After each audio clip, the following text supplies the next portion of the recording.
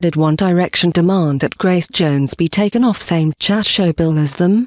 The band was said to have banned the iconic star from appearing on the same episode of The Jonathan Ross Show, but a rep for the stars said it wasn't even discussed with the boys.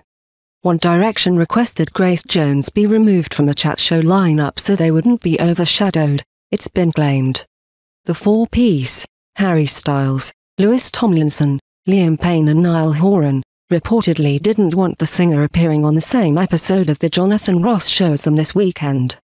A source shared, Grace is so entertaining and unpredictable that 1D feared they would look tame in comparison. Instigating the domination of a booking shows just how arrogant the band have become.